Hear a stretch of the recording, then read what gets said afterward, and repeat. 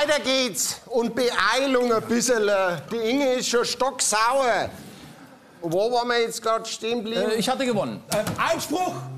Mein Kollege hat hier behauptet, Deutschland würde im Syrienkrieg völkerrechtswidrig agieren. Ich habe nach langen Mühen einen Zeugen ausfindig gemacht, der diese Behauptung widerlegen wird. Meine Damen und Herren, ich rufe in den Zeugenstand den Sprecher der deutschen Bundesregierung. Ich rufe in den Zeugenstand Steffen Seibert.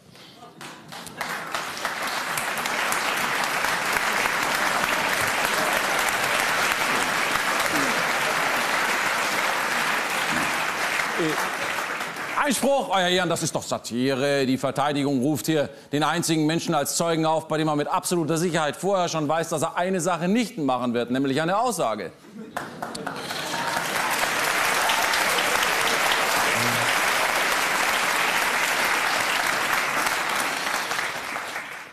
Das kann ich so weder bestätigen noch dementieren. Gibt es vielleicht weitere Fragen? Oh ja, die gibt es, Herr Seibert. Sagen Sie, die Bundeswehr befindet sich ja zurzeit mit 1200 Soldaten bei einem Kampfeinsatz gegen den IS in Syrien, nicht wahr? Nicht in Syrien, wir fliegen höchstens oben drüber mit Tornados. Und äh, Sie lassen da nichts fallen? Wir sagen den anderen höchstens, wo sie es fallen lassen könnten. Aha, sehe ich das richtig, Herr Seibert? Die Bundeswehr beteiligt sich also gar nicht aktiv an einem Angriff.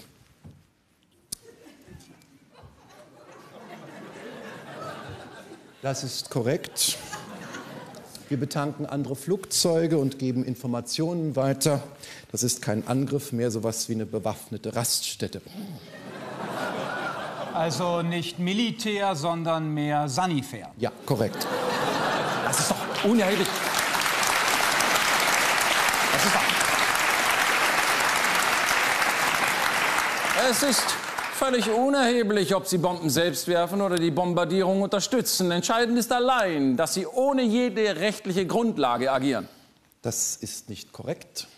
Die Rechtsgrundlage für den Einsatz der Bundeswehr ist Artikel 51 der UN-Charta. Aha. Und was steht da genau drin? Hm?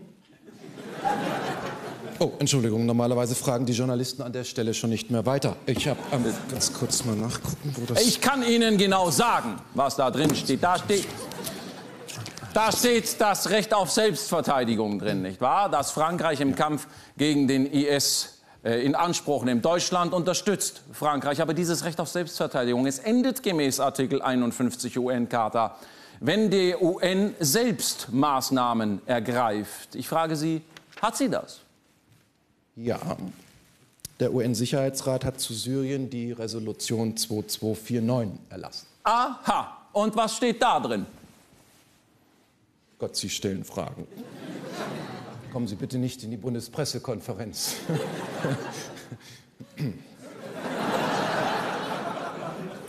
Da steht wörtlich, die Staaten sollen, ich zitiere, alle Maßnahmen ergreifen, um den IS zu stoppen. Das umfasst nach Meinung der Bundesregierung auch militärische Einsätze.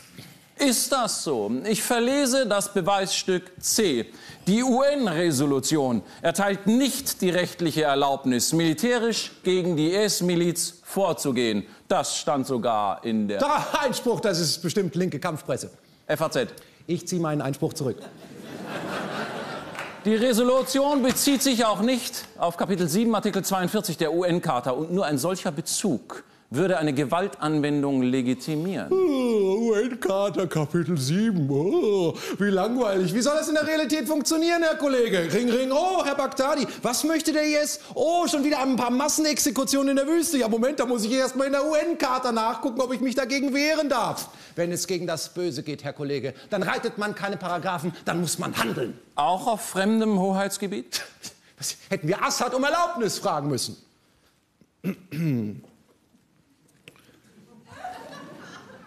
Naja, die US-Regierung hat Assad zumindest vorab über die Bombardements informiert. Ach, Sie haben angerufen, toll. Hallo Assad, grüß dich. Ja, pass auf, wir kommen heute Abend vorbei. Ja? Nein, du musst nichts besorgen. Wir bringen die Bomber mit. Das ist doch der Ja, ich freue mich auch. Also das, Alles klar. Das sich von Später. sowas. Alles klar. Ja, bitte Sie. Nicht eine Frau. Ich bitte Sie. Das ist doch. Das ist doch pure Polemik, was der Kollege hier abfeuert. Sehen Sie, Syrien wird ja nicht direkt angegriffen. Die Angriffe der westlichen Allianz finden ja über IS-kontrolliertem Gebiet statt, was nicht mehr zum Hoheitsgebiet von Syrien gehört. Also im Moment verstehe ich das richtig. Erst hat Deutschland Gruppen unterstützt, Ja. die Assad das Hoheitsgebiet wegnehmen. Ja. Und jetzt sagt man, ähm, man dürfe Syrien bombardieren, ohne ihn äh, zu informieren, weil es ja nicht mehr sein Hoheitsgebiet sei. Das ist korrekt. Damit steht fest, Deutschland beteiligt sich an der Zerstörung Syriens und zwar vorsätzlich. Deswegen erweitere ich die Klage hier auf Schadensersatz und zwar auf alle durch die Bundeswehr in Syrien verursachten Schäden. Na, na, na, Herr Kollege, also da sollten Sie schon die aktuelle Rechtsprechung auch berücksichtigen. Äh, Wenn ich das ganz kurz ausführen dürfte. Na, aber überhaupt nicht, auf keinen Fall. Wir haben keine Zeit. Vielen Dank. Dankeschön.